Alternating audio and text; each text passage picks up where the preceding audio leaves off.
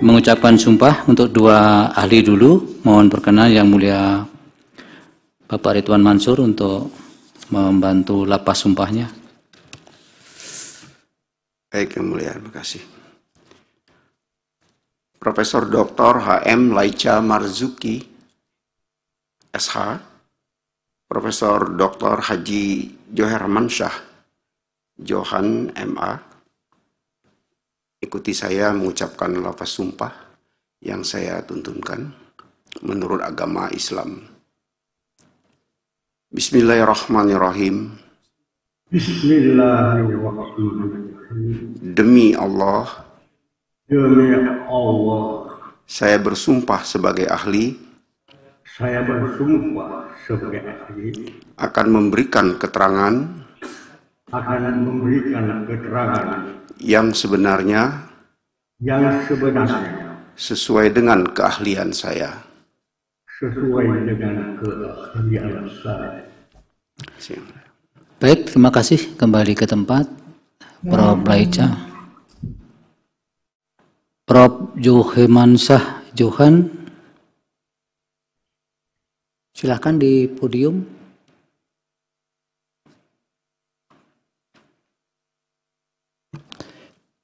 Terima kasih Yang Mulia. Bismillahirrahmanirrahim. Assalamualaikum warahmatullahi wabarakatuh. Yang Mulia Ketua dan anggota Majelis Hakim Mahkamah Konstitusi, Wakil Pemerintah, dan DPR yang terhormat, pemohon prinsipal, dan kuasa pemohon yang terhormat, hadirin dan hadirat yang berbahagia.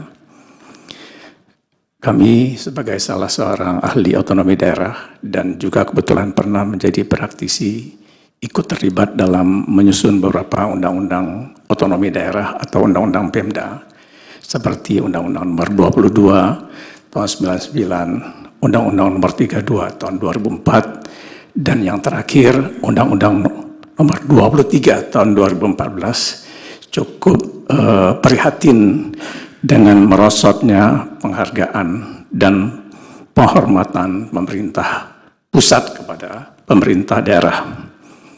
Bentuk konkretnya tampak jelas dari dilakukannya penarikan kewenangan atau urusan pemerintahan oleh pusat yang sebelumnya telah diimbahkan kepada pemerintah daerah.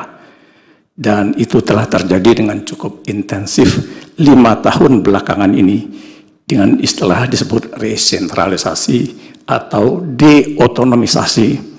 Dan resentralisasi itu tidak hanya di bidang administrasi, di bidang ekonomi, bahkan saat ini juga merambah ke bidang politik. Seperti tampak jelas dalam pengangkatan para PJ kepala daerah. Khusus dalam konteks perkara nomor 130 ini, saya cukup kaget karena DPD RI sebagai representasi regional yang berwenang secara konstitusional menjaga dan membela otonomi daerah ditinggalkan alias tidak diajak oleh pemerintah maupun DPR. Mungkin bak kata pepatah dianggap sebagai mentimun bungkuk, masuk tak membuat genap, keluar tak membuat ganjil. Padahal DPD RI merupakan lembaga negara yang diberi mandat oleh konstitusi sebagaimana tercantum dalam pasal 22D Undang-Undang Dasar 1945 untuk ikut membahas RUU yang berkaitan dengan otonomi daerah.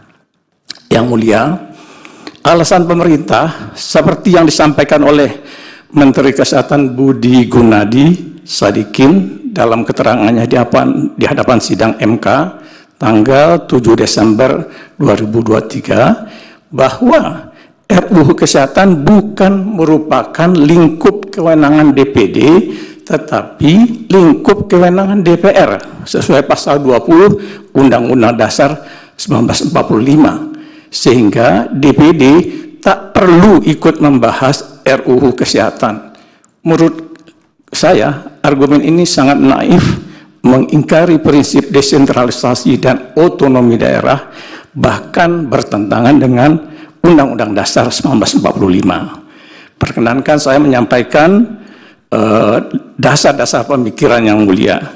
Yang pertama adalah lingkup kewenangan DPD RI dalam ikut membahas RUU yang berkaitan dengan otonomi daerah sesungguhnya tidak saja RUU yang murni mengatur ke pemerintahan daerah seperti RUU Pemda, RUU Desa, Pilkada, IKN, pemekaran daerah, tapi juga RUU yang bersinggungan dengan kepentingan daerah alias berdampak kepada daerah seperti RUU Minerba, kehutanan, sistem pendidikan nasional, pangan, perumahan eh, dan permukiman, perkebunan, perikanan, keperawatan dan tentunya juga kesehatan.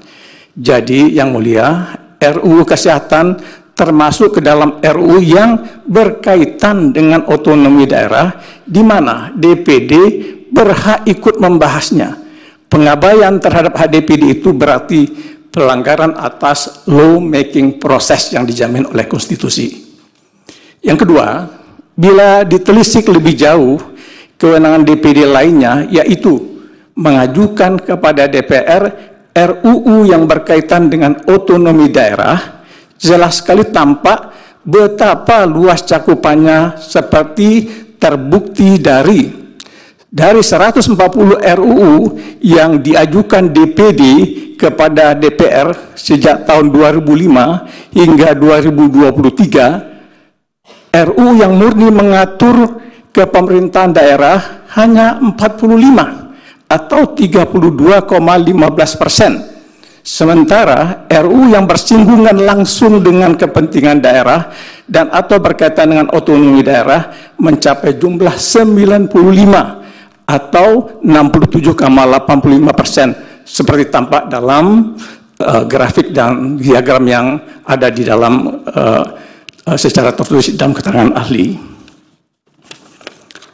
Artinya yang mulia dapat dimaknai bahwa DPD sebagai representasi regional, regional dalam rangka memperjuangkan aspirasi daerah mengajukan cukup banyak RUU yang berkaitan dengan otonomi daerah atau berdampak terhadap kepentingan daerah dalam mengurus urusan rumah tangganya.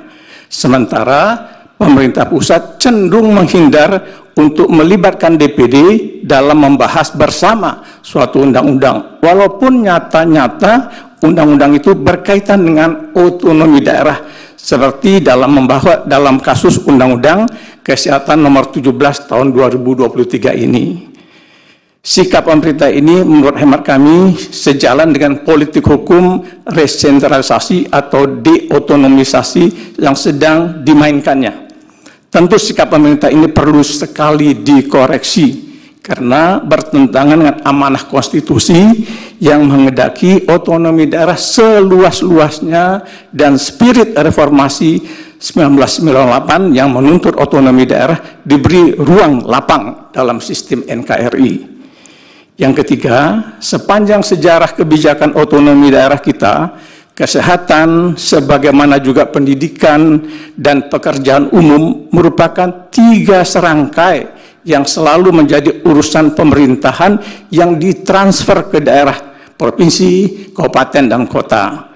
Tidak saja pada era reformasi sekarang, tapi juga pada masa Orde Baru yang terkenal sangat sentralistik di bawah Undang-Undang Nomor 5 tahun 1974 Malahan di dalam Undang-Undang Pemda yang terakhir nomor 23 tahun 2014, urusan kesehatan dimasukkan ke dalam kategori urusan pemerintahan wajib pelayanan dasar, bukan urusan pemerintahan absolut yang dilaksanakan sendiri oleh pemerintah pusat seperti politik luar negeri, pertahanan, keamanan, justisi, moneter, dan fiskal dan agama.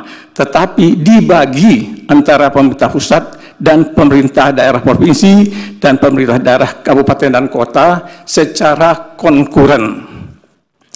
Sebagai pihak yang menerima urusan pemerintahan wajib pelayanan dasar sesuai azas otonomi daerah, pemerintah daerah bertanggung jawab menangani urusan kesehatan yang menjadi kewenangannya, seperti terkait upaya kesehatan, sumber daya manusia kesehatan, sediaan farmasi dan alat kesehatan, dan pemberdayaan masyarakat bidang kesehatan.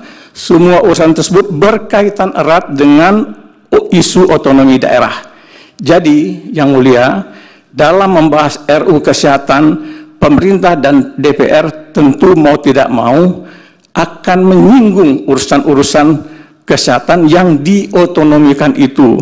Karena itu, keikutsertaan DPD dalam membahas RU kesehatan bukanlah mengada-ada menurut hemat kami, tapi adalah suatu keniscayaan guna dapat menyuarakan kepentingan daerah yang dijamin oleh konstitusi. Absennya DPD bisa menjadi cacat formil karena pelanggaran terhadap hukum konstitusi. Kehadiran DPR tidak bisa menggantikan DPD yang rekrutmennya dari perseorangan atau independen ini. Kenapa? Karena DPR adalah lembaga representasi politik yang berbasis daerah pemilihan, di mana keputusan dalam pembuatan undang-undang lebih ditentukan oleh suara fraksi berdasarkan arahan pimpinan partai politik. Yang keempat, selain itu semua, DPD tak pula diberi kesempatan untuk memberikan pertimbangan kepada DPR atas RUU Kesehatan yang padahal mengandung muatan terkait dengan pendidikan. Pertimbangan atas RUU semacam itu sesungguhnya merupakan hak konstitusional DPD sesuai pasal 22D ayat 2 Undang-Undang Dasar 1945. Dampak dari tidak diikutsertakannya DPD dalam membahas RUU Kesehatan padahal nyata-nyata berkaitan dengan otonomi daerah dan tidak pula diberikan ruang untuk memberikan pertimbangan kepada DPR atas RU Kesehatan yang yang di dalamnya mengandung muatan terkait pendidikan adalah ditiadakannya HDPD yang dijamin konstitusi, diabaikannya demokrasi konstitusional dan negara hukum demokratis yang bisa membahayakan sendi-sendi kenegaraan kita serta tak kalah pentingnya adalah dirugikannya kepentingan otonomi daerah. Yang mulia akhirnya ahli sampai pada pendapat bahwa sebaiknya Undang-Undang Kesehatan nomor 17 tahun 2023 yang telah menegasi hak-hak DPD sesuai ketentuan pasal 20D Undang-Undang Dasar 1945 dinyatakan tidak mempunyai kekuatan hukum yang mengikat Kiranya keterangan ahli bisa berguna bagi majelis hakim dalam memutuskan perkara ini dengan seadil-adilnya. Jakarta 22 Januari 2024 ahli Johermansa Johan. Terima kasih. Assalamualaikum warahmatullahi wabarakatuh.